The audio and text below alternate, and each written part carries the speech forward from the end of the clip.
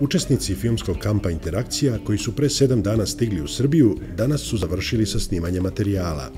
Tri petočlane ekipe su boravile u Čačku, Užicu i Požegi i uz pomoć lokalnih vodiča pronašle teme o kojima su snimile materijal za tri dokumentarna filma koji će, nakon druge faze kampa, montaže koja se odvija u Požegi, biti prikazani 23. augusta u Požeškom bioskopu na zatvaranju festivala Interakcija. Festival Interakcija počinje sutra projekcijom filmova iz programa U fokusu Poljska, koji je netakmičarskog karaktera, a obuhvata vrhunske kratke dokumentarce izabrane od strane Krakovske filmske fondacije. Prvi od tri filma koji će biti prikazani nosi naziv U krug.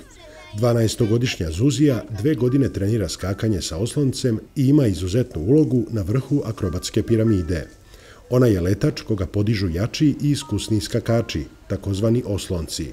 Kada počne još jedna intenzivna sezona, a tokom treninga, postaje očigledno da je devojčica izgubila deo svoje gracioznosti i lakoće. Isprva, trener za to krivi oslonce, ali oni priznaju da je Zuzija prevelika da bi je propisno podizali.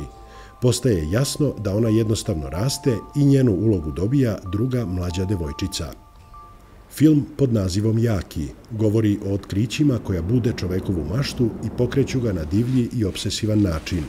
Korak po korak, kamera istražuje mesta do sad nepoznata čoveku, a koja pružaju sve veći otpor ljudskoj osetljivosti.